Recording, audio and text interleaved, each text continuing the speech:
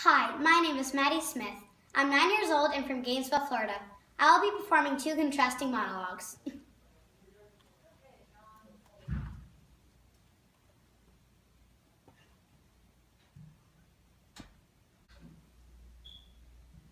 I make snow angels every year.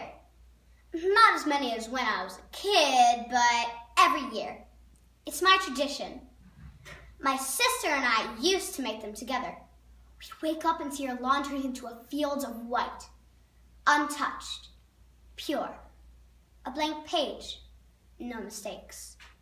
We'd race from the front door to the middle of the lawn, arms out, fly back, whee! Arms, flap, flap, flap, legs, flap, flap, flap.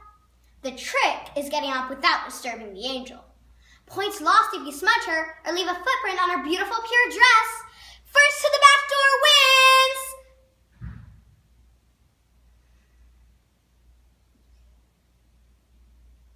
My sister and I don't really, we're not really on the same page anymore. She has her friends. She doesn't see the magic in snow angels.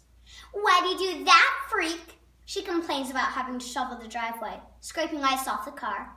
Did you see what that stupid snow did to my suede boots?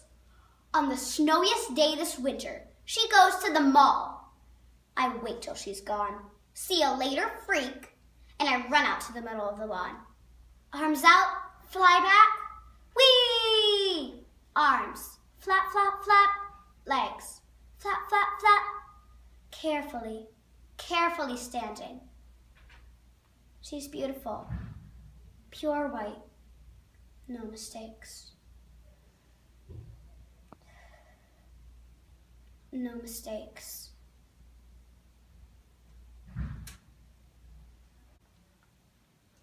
I lost a tooth the other day, and my mom told me to put it under my pillow, and that in the middle of the night, the tooth fairy would come in and take my tooth and replace it with some cash. Okay, so I have some questions and concerns here. Number one, what does this little tooth freak do with all these teeth? By my calculations, somewhere in the world, a child loses a tooth every 0.8 seconds. But they're not all in the same part of the world. Which brings me to number two. How does this little tooth collecting creep get from place to place? I mean, I get how Santa gets around, but at least he has a route. Number three. If this fairy is touching a bunch of people's teeth at night, what about the germs? I mean, obviously some of these kids are losing their teeth because they don't take care of them, so ew, gross! This fairy is touching a bunch of nasty teeth and then touching my pillow? From now on, when I lose a tooth, I'm leaving some antibacterial hand sanitizer under my pillow.